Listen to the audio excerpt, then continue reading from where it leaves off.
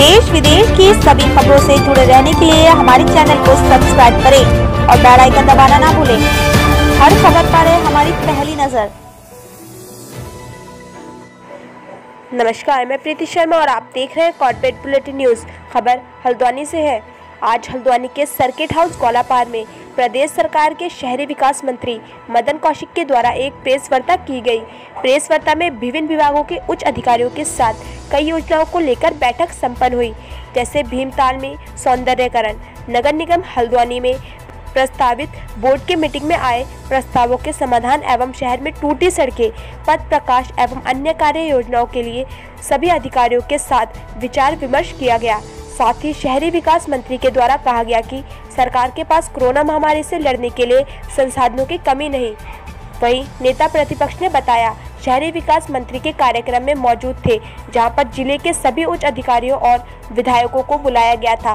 नेता प्रतिपक्ष द्वारा बताया गया कि पिछली बैठक में शहरी विकास मंत्री के द्वारा प्रत्येक विधायक को एक एक करोड़ रुपए देने की बात कही गई थी। नेता प्रतिपक्ष ने कहा कि शहरी विकास मंत्री के द्वारा जो धनराशि दी गई थी, सड़कों के निर्माण कार्यों के लिए, जिन क्षेत्रों में काम नहीं हो पाया है, वहाँ के प्रस्ताव पुनः दिए गए हैं। वहीं शहरी विकास मंत्री मदन कौशिक के द्वारा एक करोड़ पर पुनः देने की बात भी कही गई है।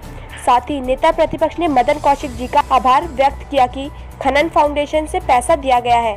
नेता प्रतिपक्ष ने बताया कि शहरी विकास मंत्री का आना और पैसा देना क्षेत्र के लिए काफ़ी महत्वपूर्ण है। वहीं बताया गया कि बैठक में किसी ने पानी किसी के द्वारा सड़कें व अन्य कार्यों के लिए मांग की गई। नेता प्रतिपक्ष द्वारा बताया गया कि एक दो सड़कें उनके द्वारा भी मांगी गई थी, जो कि ठीक हो गई थी, लेकिन पीडब्ल्यूडी के द्वारा अभी तक बनाई नहीं गई हैं। सड़कों पर नेता प्रतिपक्ष का कहना है कि प्रदेश में सड़कों का बहुत बुरा हाल है। कहीं भी कोई सड़क बनती नज़र नहीं आ रही है। वहीं नेता प्रतिपक्ष के द्वारा सरकार को कटघरे में खड़ा करते कहा कि हरिद्वार से देहरादून मार्ग, जो बन रहा है। कई सालों में अभी तक संपूर्ण नहीं बन सका है। कहीं भी कोई काम दिखाई नहीं देता है। साथ ही नेता प्रतिपक्ष ने कहा कि जहाँ एक और प्रदेश डेंगू की रोकथाम के लिए बड़े बड़े दावे कर रही है, वहीं सड़कों पर जो बड़े बड़े गड्ढे हैं, उन्हीं में पानी जमा होने से डेंगू वहीं से उत्पन्न होगा।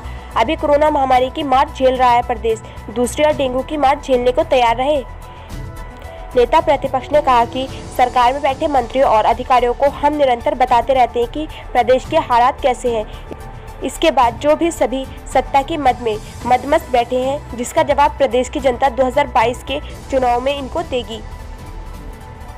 आप देख रहे हैं हल्द्वानी से अतुल अखबार की रिपोर्ट। फ़िलहाल खबरों में इतना ही। बाकी खबरों के लिए देखते रहिए कॉर्पोरेट बुलेटिन न्यूज़ नमस्कार।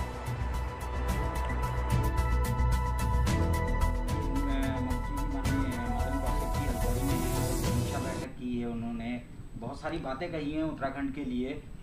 तो किस, आपने भी शायद सुनी होंगी तो किस तरीके से देखती हैं? नहीं, मैं खुद उस बैठक में मौजूद थी। उन्होंने सब, नैनीताल ज़िले के विधायक और अधिकारियों को बुलाया था।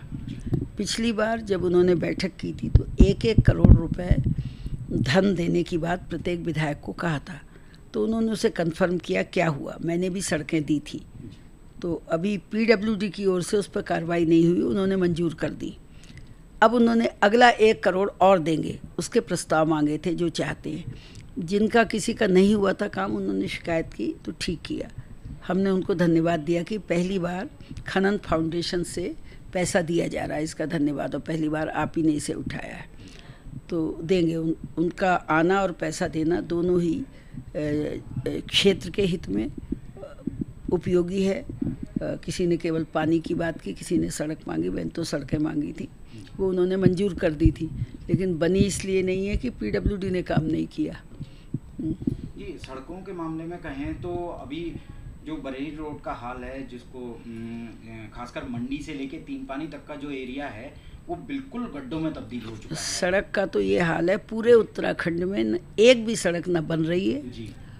और ना कोई काम हो रहा है। यहाँ तक कि देहरादून हरिद्वार जो राष्ट्रीय राजमार्ग है वो तक सालों से बन रहा है अब तक पूरा नहीं हुआ है। तो बहुत बुरा हाल है।